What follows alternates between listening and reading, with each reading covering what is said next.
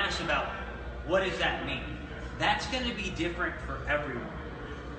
a low carb day for Trey could be 150 grams of carbs, right? A low carb day for me, you know, would have to be real low. but it's gonna, you're talking more like 30 grams for me. Because Trey, for example, depletes a lot faster than I do. So it's low relative to you, okay? Meaning that whatever carbs you're at, you're depleted.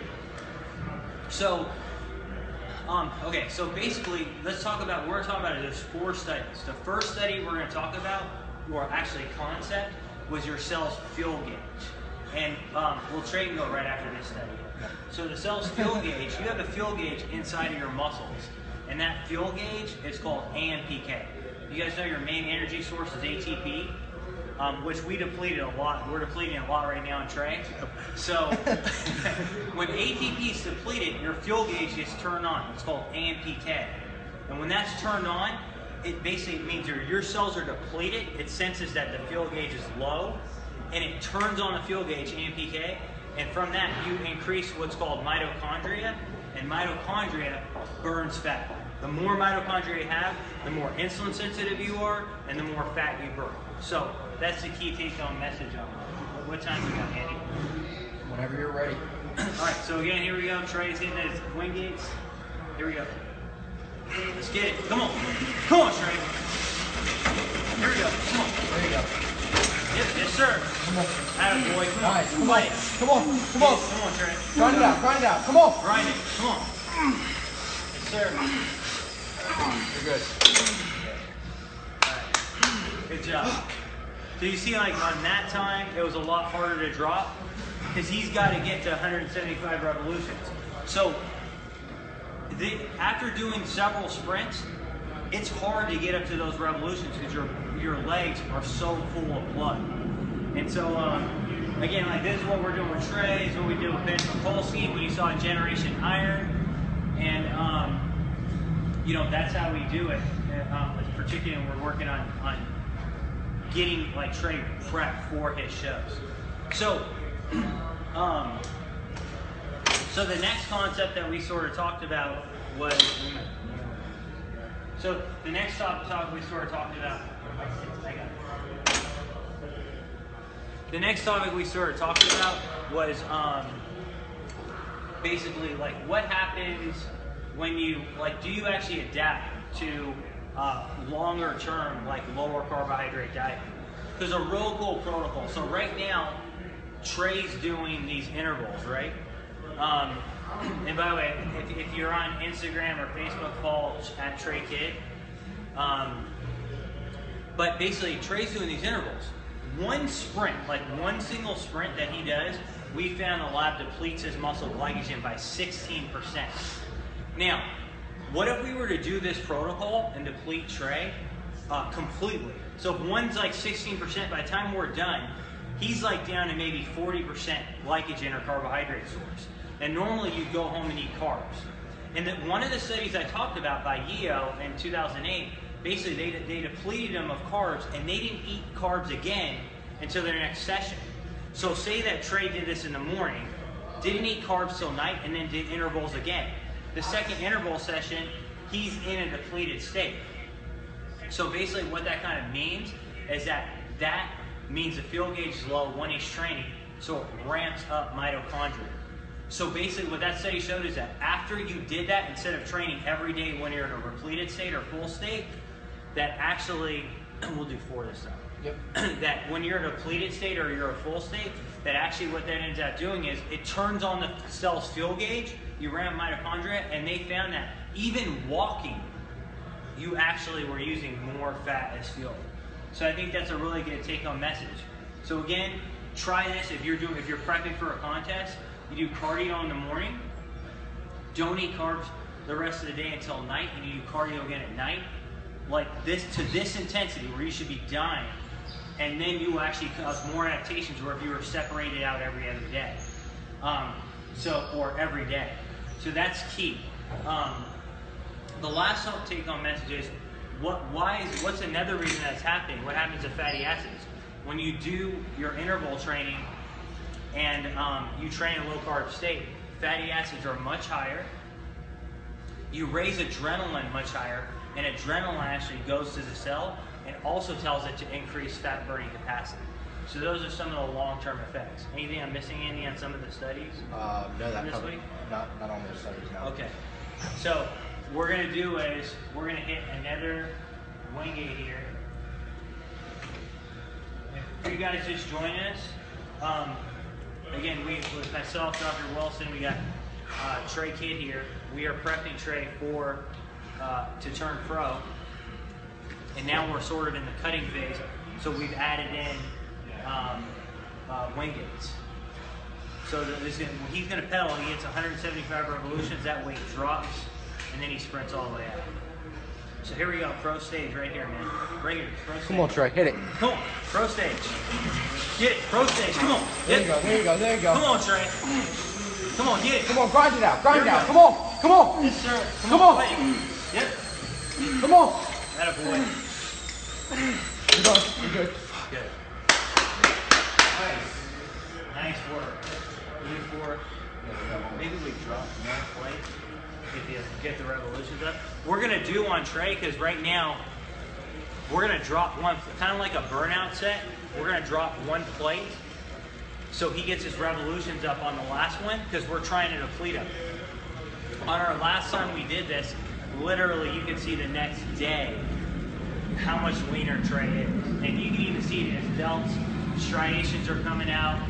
So again, like we do research but we do it live too.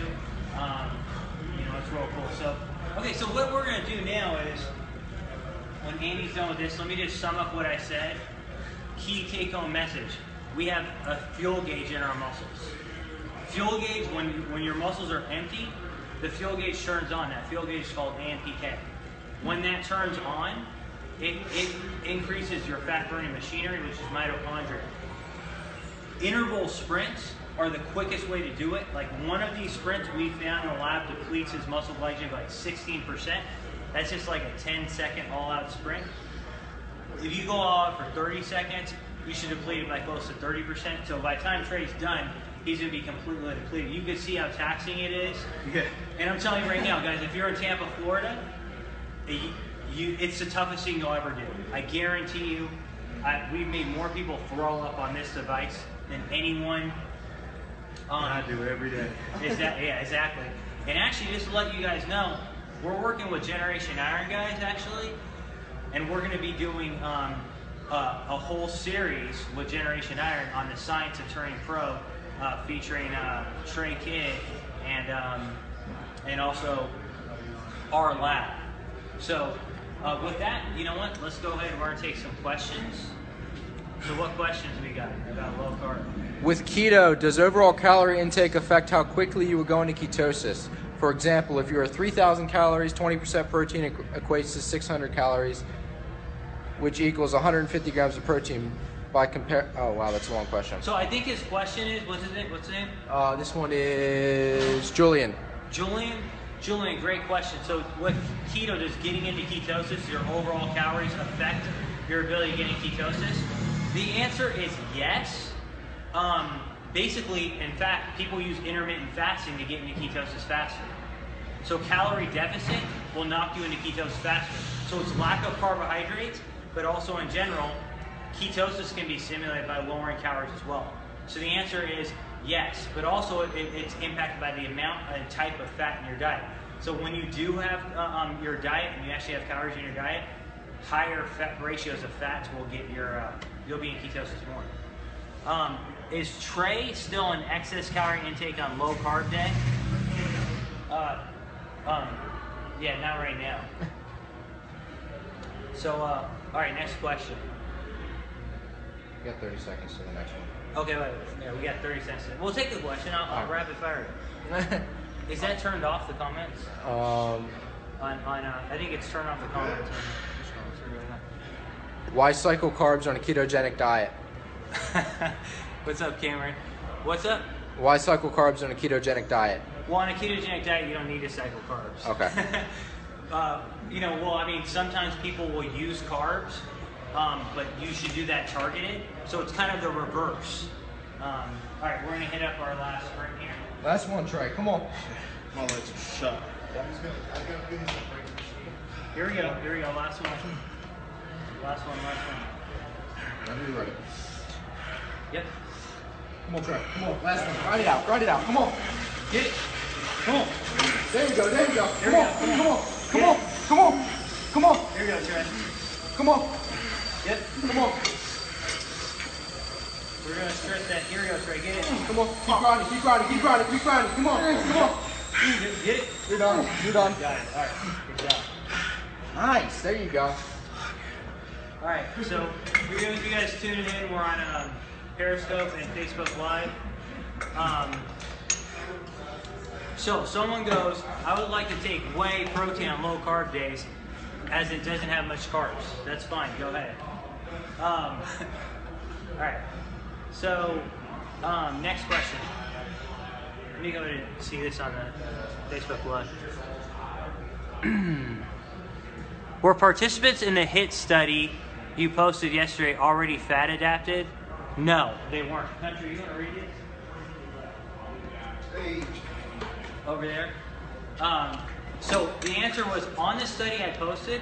The basically the people who were um, were uh, having higher amounts of fat and fat oxidation, they did not start off fat adapted.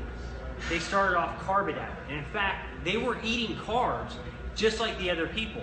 The difference was that they would essentially train every other session in a depleted state and then have their carbs after the session. Right? Um, what about for female? So go, go ahead with this next question. Does this training create more mitochondria than endurance training? This type of training here, uh, this type of training here can create as much mitochondria as very long duration uh, um, um, endurance training and per minute, per second, more. Filtered here. Uh, protein to zero carb on rest days. Is there a time frame to switch from high carbs to zero carbs, or switching so quickly from using fat as fuel be carbs as fuel? Yeah, I'm not sure that. Um, does cardio acceleration, man, so fast. Does cardio acceleration during workout count the same as hit cardio sessions after workout? Okay, so someone's asking about yeah, just some of them short. So someone's asking about cardio acceleration training. That's basically like Jim Stoppani's a big fan of that, and basically what that means is like you're doing weights, and in between you're kind of doing things like jumping jacks or um, things elevating your heart rate. Yeah, that could serve as a hit training session, especially if the intensity is high. I'm going to take one. Up, I'm also looking on the uh, Periscope. I think a good one is um, if they don't have a Wingate at home, what can they use instead of in place of a Wingate? Okay, That's so a if good you question. don't have a Wingate at home, what do you do? what we would recommend is this. So you notice that I get on this Wingate bike, right? So I'm on this bike, and you have you have this machine here, and there's no weight like on the flywheel. But when I hit 175 revolutions, that weight drops.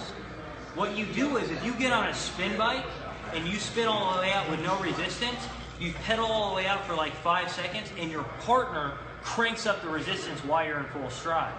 Then you pedal all out for 10 to 30 seconds, and that will do it. Let's go ahead and take about two more questions. What do you do when you hit a fat loss plateau with lowest possible calories you can go? Increase calories back up. Okay, when you hit a when you hit a fat loss plateau, you need to assess a lot of things. Um, but one of those things, if you can't lower your calories anymore, calorie cycling is going to be very important. So that's where, yeah, absolutely.